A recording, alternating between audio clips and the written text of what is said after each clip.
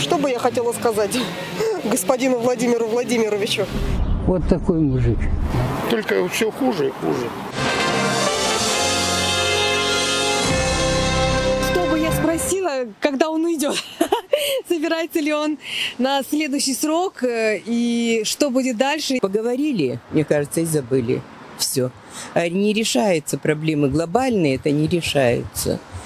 У нас все хуже и хуже становится. Прямая линия, ну не знаю, это, наверное, дает нам понять, что президент с нами.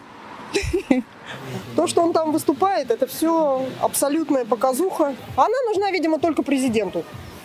И все. И больше никому. И бабушкам, которые смотрят телевизор. И которые молятся на этот телевизор, как на какую-то икону.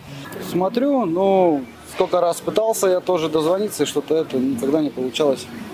Можно устраивать горячую линию, губернатор пусть устраивает. Он тут, ну, любой губернатор, он же владеет и обстановкой. Я уже ему задала, отправила А что вы смс. Почему меня обворовывает мое государство? Я честно заработала пенсию. Всем делают перерасчет, а работающим пенсионерам нет. Это шоу в основном.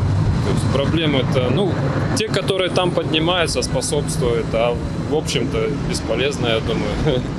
Может быть, мы напишем или позвоним с мамой и скажем о том, что пусть он переизбирается и на следующий срок. Я очень рада, что у людей есть такая возможность обратиться за помощью. Иногда это бывает действительно последняя инстанция. Я двумя руками за такое общение с президентом. Прямые линии, я считаю, они подвергаются жесткой цензуре.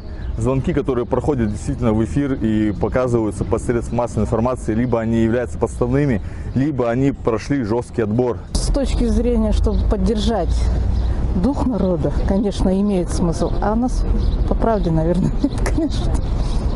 На самом деле. Ну, что такое вопрос, что такое ответ? Если надо, мы эти же ответы найдем и в других местах. Я бы не хотел в этом участвовать. Это уже давно неинтересно. Все известно. Не знаю. Все это грустно. Лучше заниматься своим делом, своим будущим.